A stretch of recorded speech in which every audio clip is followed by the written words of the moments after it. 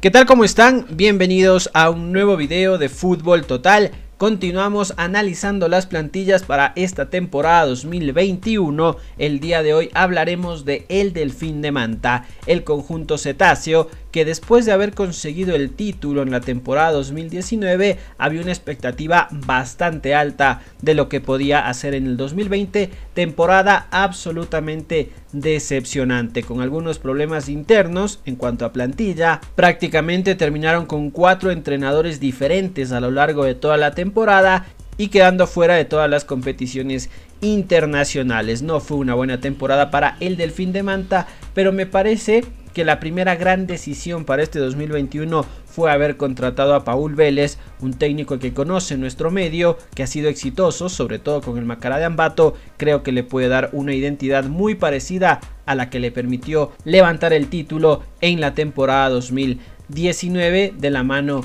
de Fabián Bustos. Llega Paul Vélez que es un entrenador que tienen algunas cosas muy similares así que seguramente veremos un delfín mucho más combativo antes que de propuesta como quizás esperaba en el 2020. Analizaremos la plantilla, quizás ha perdido un poco de brillo en relación a la del año anterior, pero me parece que hay futbolistas que tienen un techo bastante importante y yo siempre he hablado de la magia de Paul Vélez, de poder potenciar futbolistas, así que el techo en conjunto de toda la plantilla de El Delfín de Manta me parece que puede ser bastante alto. Así que hablemos del conjunto cetáceo, esta es la plantilla para el 2021. Empezamos con algunos datos de la plantilla. El costo aproximado de El Delfín estaría en los 9 millones 130 mil euros. Un costo intermedio en nuestro fútbol. Un total de 28 jugadores en la plantilla. Promedio de edad 26.8 años.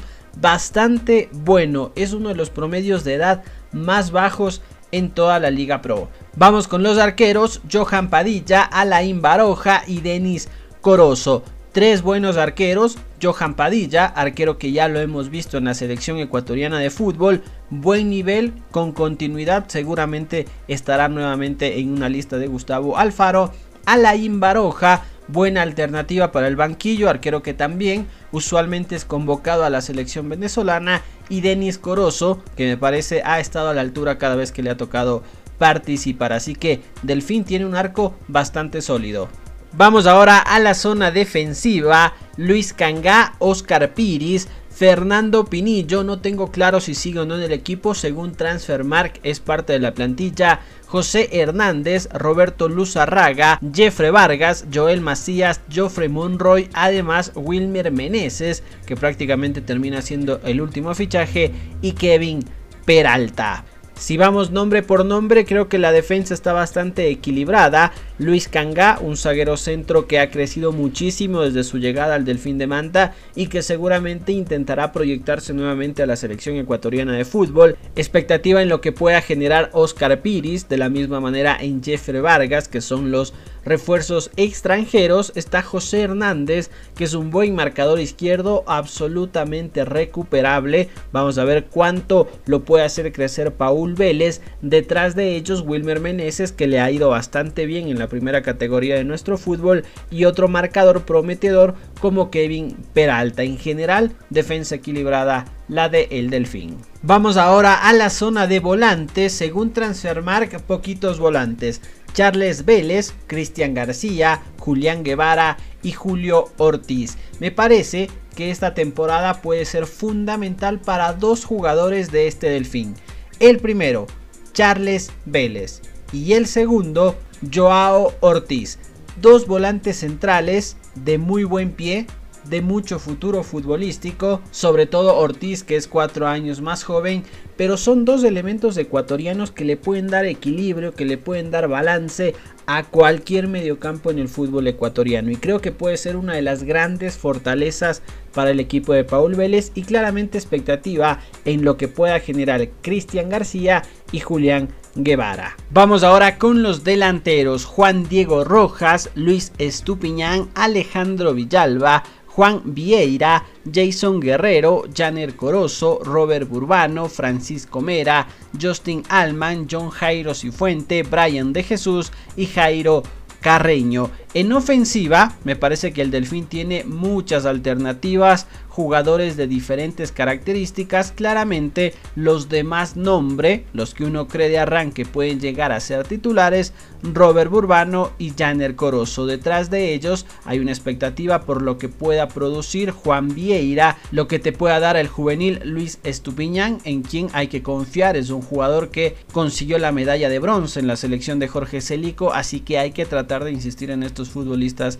que a priori tienen un techo importante, lo que te puede entregar Juan Diego Rojas, lo que te puede dar Francisco Mera, Justin Alman, el mismo Brian de Jesús y recupera parte de su nivel, es decir, me parece que hay una variabilidad de alternativas bastante interesante en la zona ofensiva.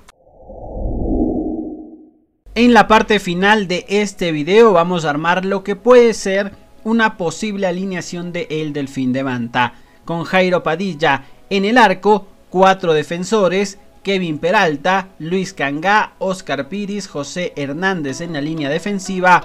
Yo creo que Paul Vélez podría apostar por una línea de tres volantes, Charles Vélez, Julio Ortiz y Julián Guevara, dos extremos, Robert Burbano, que sabemos sabe lanzar muy buenas diagonales, del otro lado Janner Corozo, único hombre en punta, John Jairo Cifuentes. En el banquillo de suplentes podría estar Alain Baroja como alternativa en el arco, Roberto Luzarraga, que es un futbolista que se acomoda como zaguero central, pero también puede jugar como marcador por la banda izquierda.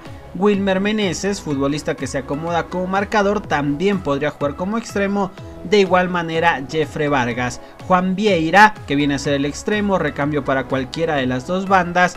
Juan Diego Rojas de la misma manera y Brian de Jesús como recambio para John Jairo Cifuente. No se descarta que el Delfín de Manta presente por lo menos un centro delantero más. Esa podría ser una formación de el Delfín de Manta a lo largo de la temporada 2021. Donde creo que puede terminar el equipo de Paul Vélez, me parece que empieza un proceso nuevo de reconstrucción, de reestructuración de algunas cosas.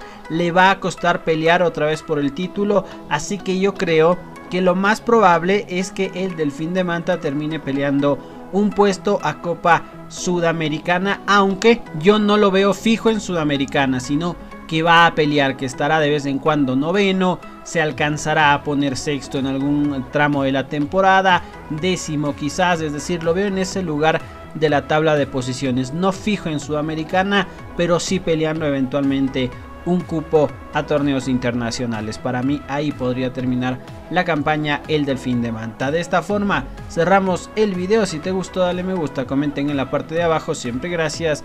Esto es Fútbol Total. Nos vemos en un próximo video.